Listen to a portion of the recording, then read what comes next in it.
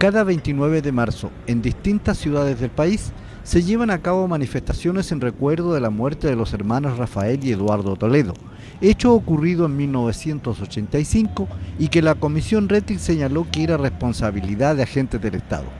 Fecha conocida como el Día del Joven Combatiente, que en esta oportunidad en Iquique no hay indicios de actos alusivos.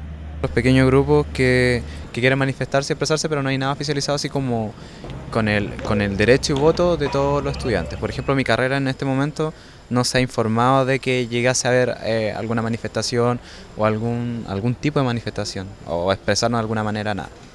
Lo que sí siempre en la universidad se hacen como tardes recreativas, jornadas recreativas, en las cuales se conmemoran estas fechas importantes y ahí depende de cada grupo o, de cada carrera, en este caso de la universidad en conjunto, si es que se llegase a participar en una actividad más, ya que, que conglomore más personas.